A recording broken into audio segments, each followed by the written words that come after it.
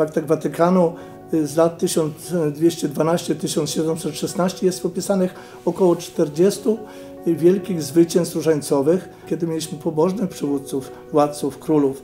To Polska była potężna. W 1716 roku pod Wenecją jeszcze odniesiono zwycięstwo dzięki potężnej modlitwie różańcowej. Trzeba wspomnieć o Portugalii, która jedyna nie doznała zniszczeń w czasie II wojny światowej. Kiedy już 10% narodu zaczęło się modlić na różańcu, to dziwnie w święto Matki Bożej y, w niebo wzięty 15 sierpnia Sowieci opuścili ten kraj.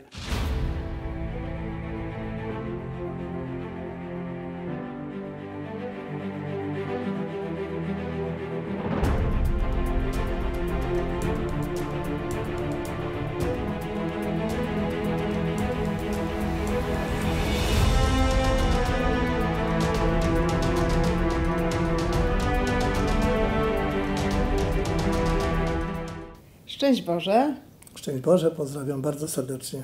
Dziś z księdzem Julianem Brzezickim, proboszczem z Trzęsin i księdzem, który od lat modli się na różańcu, rozmawiać będziemy o tym, jakie znaczenie miał różaniec dla losów narodu. Księże Julianie, powtórzę to pytanie. Jakie znaczenie miał różaniec przez historię dla losów narodu?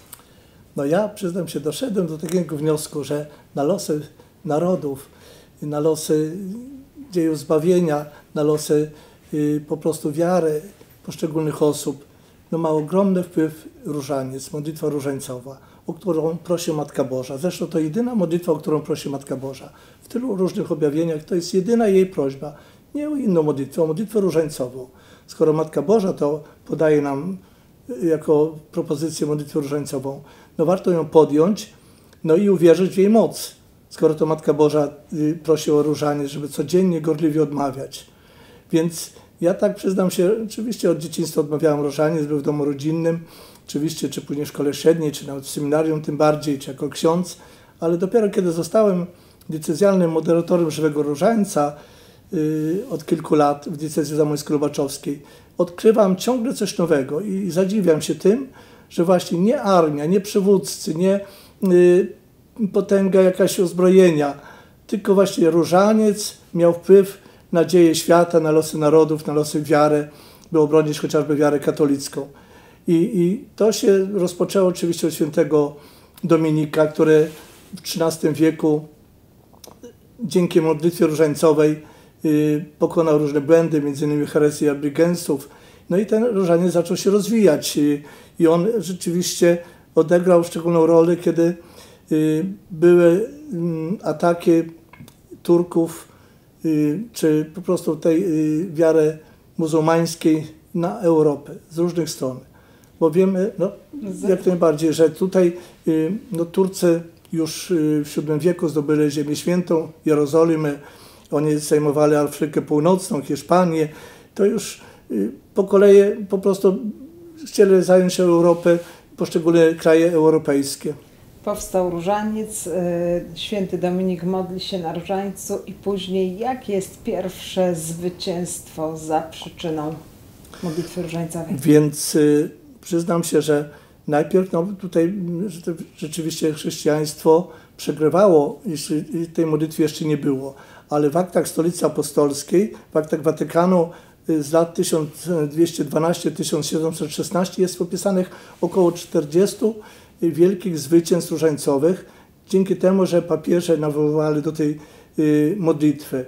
I tak, y, najpierw właśnie były te przegrane bitwy pod Warną, chociażby w 1444 roku, gdzie ginie polski król Warneńczyk i później muzułmanie zdobywają Konstantynopol w 1454 roku, zdobywając Cypr, Kretę i papież właśnie się zorientował, że no, trzeba się ratować, trzeba ratować Europę i wezwał cały Kościół y, w Europie i nie tylko do potężnej modlitwy różańcowej, kiedy no, Turcy, islamiści zagrażali Europie. I dokonało się takie wielkie zwycięstwo dzięki modlitwie różańcowej nad Turkami pod Lepanto. To jest znana data, 1571 rok, 7 października. bo po tym zwycięstwie, kiedy wydawało się, że flota chrześcijańska nie ma szans, bo była o wiele słabsza, to właśnie dzięki potężnej modlitwie różańcowej, gdzie modlili się katolicy w Polsce w tej intencji, odniesiono zwycięstwo pod y, y, Lepanto u wybrzeży, gdzie właśnie szturm y, taki, no, tych Turków został pokrzyżowany poprzez burzę na morzu. No i odniesiono zwycięstwo, ale wtedy no, od razu mówiono, że to nie chrześcijanie zwyciężyli, tylko Matka Boża że dzięki potężnej modlitwie różańcowej odniesiono zwycięstwo. I papież ustanowił 7 października właśnie święto Matki Bożej Różańcowej na pamiątkę tego zwycięstwa. To pierwsze z tych Takie zwycięstw. A... Ważne, tak jest, jak najbardziej zwycięstwo. No ale Turcy nie, dali, nie dawali za wygraną. Oni się wzmacniali, tak mniej więcej co 50 lat, takimi falami najeżdżali Europę z różnych stron. I było to chociażby w 1621 roku, dokładnie 50 lat później, też w październiku, na początku, zaatakowali tę Europę od strony Chocimia. I tam właśnie też y, no, niewielka armia tutaj y, katolików, 35 tysięcy przeciw 400 tysięcznej armii tatarsko-tureckiej. I faktycznie to pomyślne zakończenie bitwy pod Chocimem zawdzięcza się potężnej modlitwie różańcowej, kiedy zginął y, hetman Chodkiewicz, no, alarm w Krakowie i tak dalej, modlono się dzwony, procesje różańcowe, y, ludzie wyszli na ulicę, y, noszą obraz Matki Bożej Różańcowej, noszą czuwania w kościołach. I rzeczywiście hetman Lubomirski słyszy właśnie jak Matka Boża mówi do niego wytrwaj. I dzięki temu, że mieli cierpliwość, wytrwali, właśnie podpisano bardzo korzystny układ pokojowy i także odniesiono, można powiedzieć, zwycięstwo tutaj pod Chocimem. I znowu, y, kiedy Jan Sobieski jako hetman jeszcze też walczył, wspierał te wyprawy przeciwko Turkom, Tatarom, został wybrany królem, odbywał się sejm koronacyjny y, króla Jana III Sobieskiego. No słyszę, że znowu Turcy nacierają od strony Lwowa, więc on przerywa tą uroczystość koronacyjną wraz z Marysieńką, udaje się do Lwowa na odsiecz. No, zebrał zaledwie 6 y, tysięcy, jak y, wyczytałem, tylko swoich żołnierzy, a to armia 300 tysięczna pod Lwowem. No Marysieńka bardzo pobożna, wzywa ludzi do modlitwy różańcowej i, i ludzie rzeczywiście zamiast uciekać po płochu biorą do ręki różaniec i no, z Matką Bożą Zwycięską właśnie też procesje różańcowe, modlitwa nie tylko we Lwowie i wtedy co? No znowu interwencja nadprzyrodzona z nieba. Po prostu nad Lwów nadciągnęły ciemne chmury, grzmoty, ulewa. Yy, no huk właśnie tych piorunów sprawiał, że no, armia turecko-tatarska przestraszyła się. To powalało ich, ich właśnie najeźdźców i, i że to ogromna armia właśnie chrześcijan, katolików na nich naciera i, i odniesiono zwycięstwo, właśnie 6 tysięcy przeciwko 300 tysiącom Turków i Tatarów i zwycięstwo dzięki polskiemu królowi Janowi III Sobieskiemu pod Lwowem. A to dlatego, że król Jan III Sobieski był bardzo pobożnym królem. Należał do Bractwa Różańcowego, pościł dwa razy w tygodniu o chlebie i wodzie no nie zaczynał żadnej bitwy czy jakiejś ważnej y, y, pracy bez modlitwy, bez zawierzenia Bogu Matce Najświętszej. Y, przed bitwą jako ministrant służył domszy. No to można by długo opowiadać, ale kiedy mieliśmy pobożnych przywódców, władców, królów, to Polska była potężna i, i obroniła nie tylko swój kraj przed zalewem islamu, nawet całą Europę, bo oczywiście Turcy chcieli zdobyć całą Europę, bo przecież to wypowiedziano wojnę Y, chrześcijaństwu, katolicyzmowi podjęto taką, no właśnie, oni nazywali świętą wojnę, chcieli, żeby y, w Watykanie była stajnia dla ich koni i, i, i rzeczywiście w Konstantynopolu im się to udało, zdobyli tam do świątyni, do bazyliki wjechano y, na koniach, sprofanowano to miejsce święte katolików i chciano to uczynić tak samo w Rzymie. I dlatego tak ważne te zwycięstwa, dzięki głównie polskiej armii, dzięki Janowi III Sobieskiemu chociażby, bo kolejne zwycięstwo po tym zwycięstwie nad, pod Lwowem, to zwycięstwo znane już bardziej z historii pod Wiedniem. To jest rok 1683, więc znowu widzimy mniej więcej 50 lat później.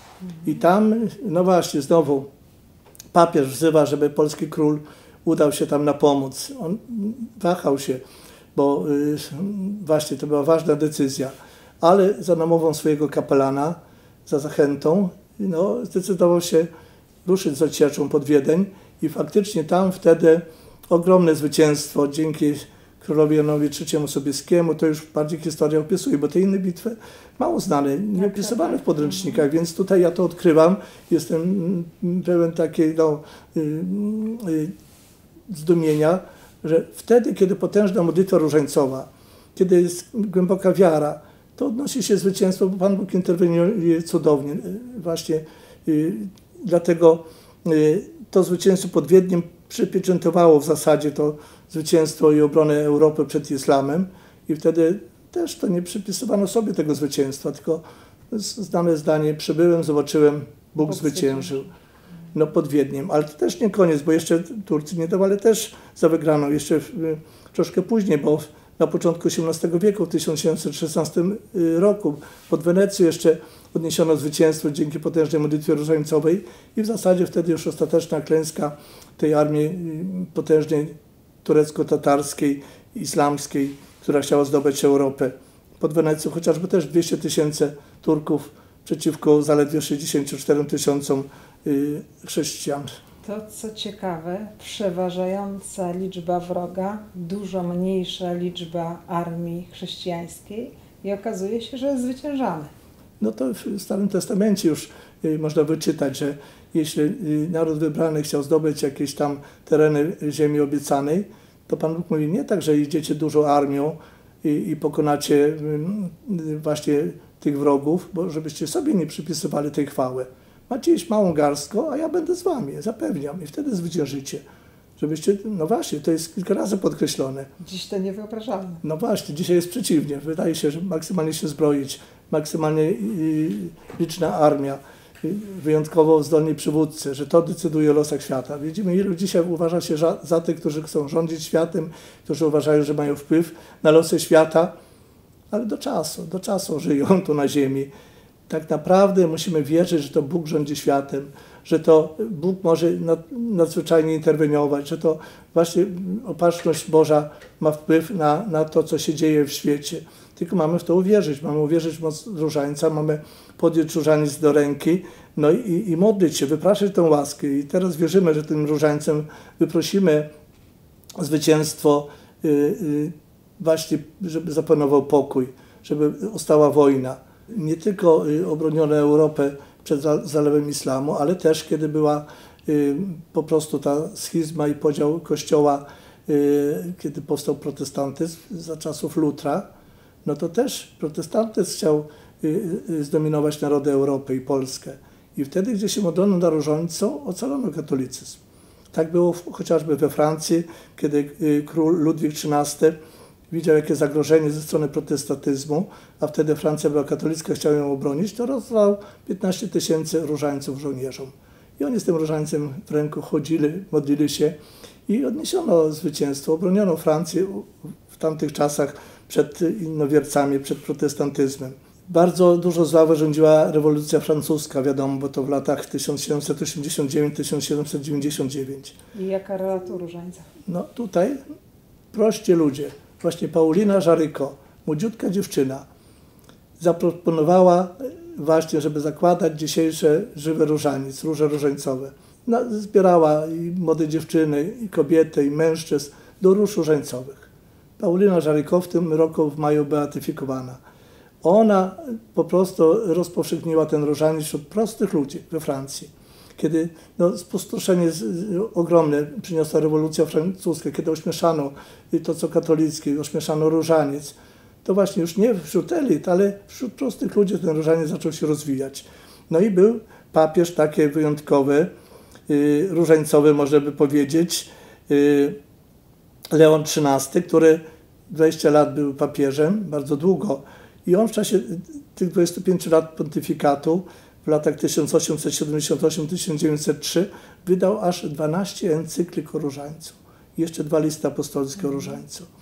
I on tam podkreślał właśnie y, moc różańca, skuteczność różańca, nawoływał do różańca. To było, widzimy, y, właśnie w tym czasie zaraz po rewolucji francuskiej. I, i to y, sprawiło, że różaniec znowu zaczął się odradzać, nie tylko wśród prostych ludzi, ale wśród elit. No i w tym czasie mamy objawienie w Polsce w Gieczwałdzie.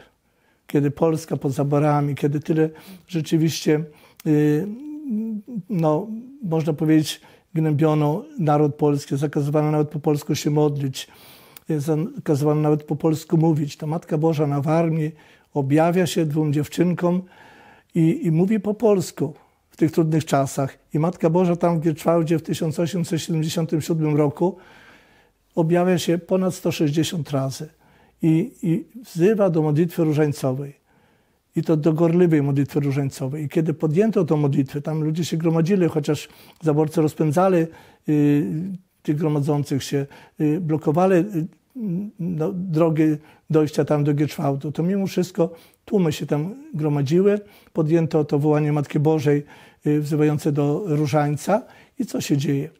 No, niezwykłe rzeczy się dzieją, że pierwszy efekt to zanik pijaństwa, kiedy rozpijano Polaków w czasie zaborów. Drugie to że młodzież zapragnęła życia w czystości, bo była straszna też demoralizacja.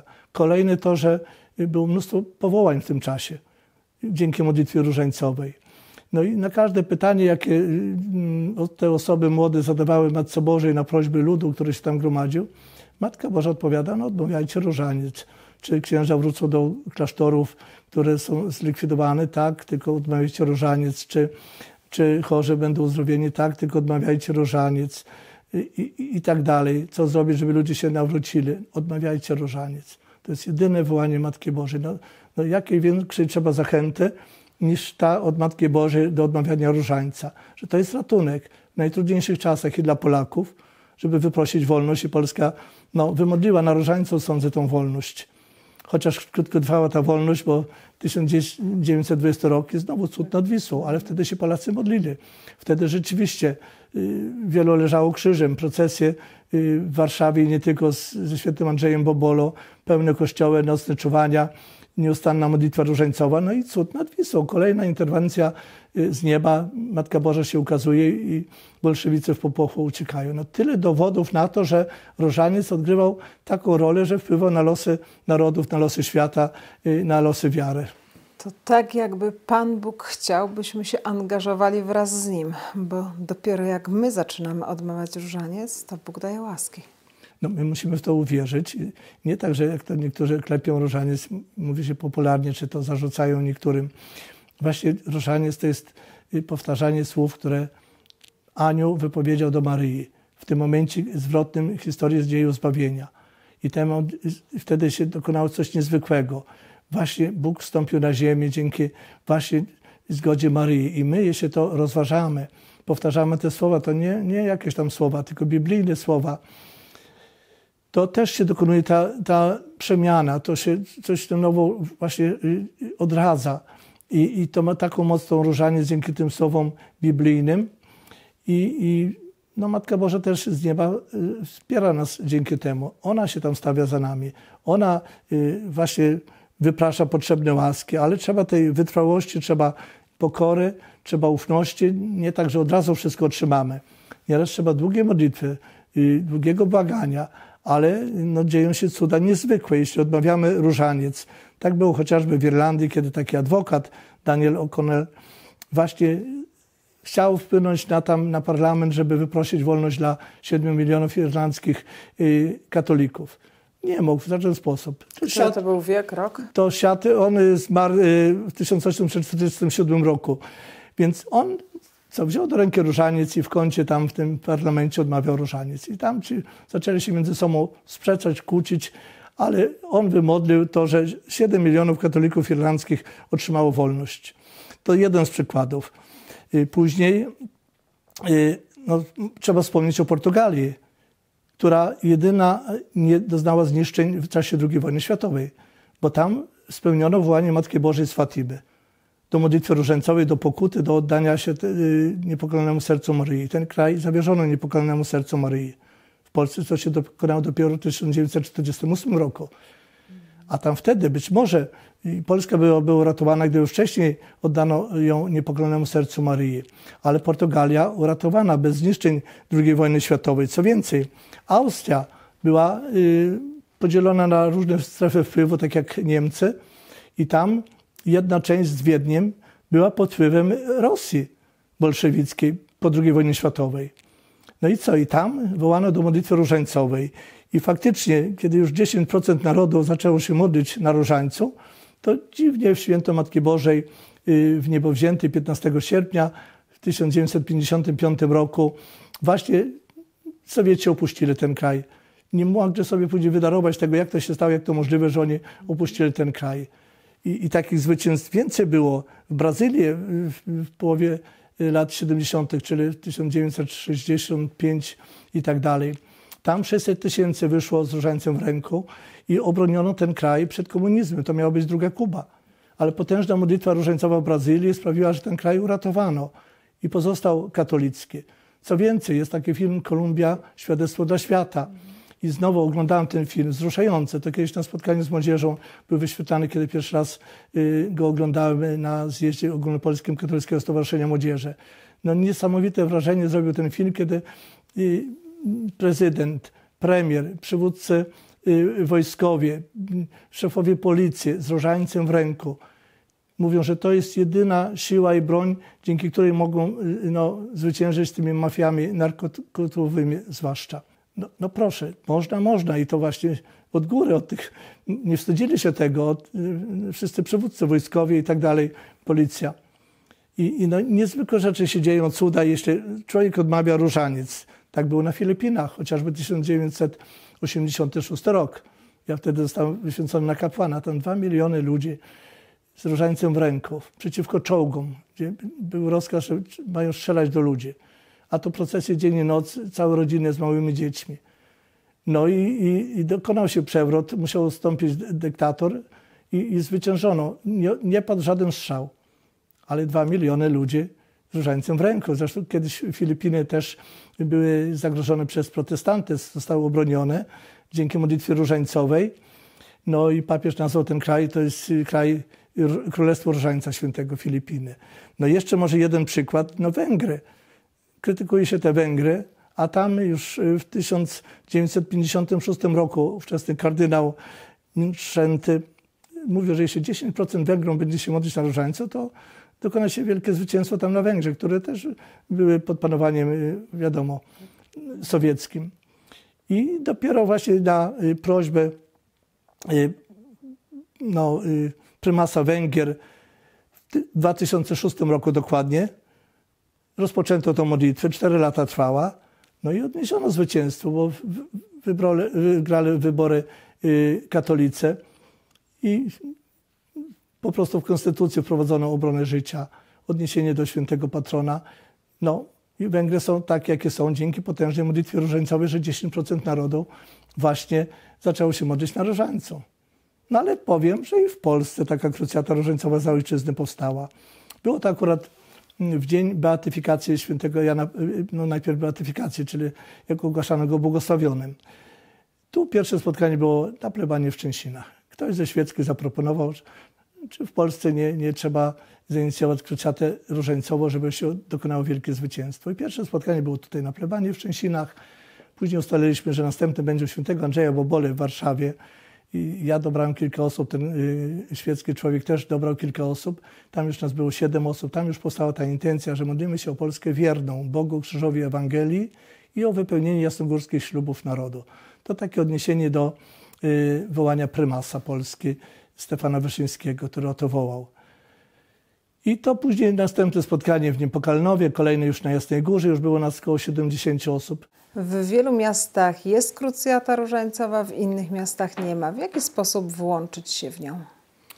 Więc ta krucjata różańcowa oczywiście nie tylko w naszej diecezji zamojsko-lubaczowskiej, są inne diecezji, gdzie się też rozwija i też są marsze pokutne różańcowe. Yy, I, i wiem, że dużo ludzi się gromadzi, czy w Poznaniu, czy, czy gdzieś tam na, w diecezji legnickiej, czy wielu innych, ale to jest zasada, że trzeba, żeby jakiś najbardziej prężny ruch mm, czy stowarzyszenie udało się do pasterza diecezji, zaproponowało tą ideę modlitwy za ojczyznę. Jeśli pasterz wyrazi zgodę, to właśnie chodzi o to, żeby rozpowszechniać tą modlitwę. To chodzi o modlitwę jednym dziesiątkiem różańca codziennie w tej intencji o Polskę wierną Bogu Krzyżowi Ewangelii. Indywidualnie to każdy może się modlić bez pytania proboszcza czy biskupa, bo to piękna intencja i, i wiadomo, zaapropowana modlitwa różańcem. Ale żeby taką formę zorganizowano to miało, to rzeczywiście za zgodą pasterza danej diecezji czy miejscowego proboszcza zachęcam, żeby takie krucjaty różańcowe organizować, żeby to przyniosło błogosławione owoce duchowe. Różańcem można zmienić nawet losy świata. Dziękuję księdzu serdecznie za tę rozmowę. Dziękuję serdecznie Państwu. Szczęść Boże wszystkim, pozdrawiam serdecznie. Szczęść Boże.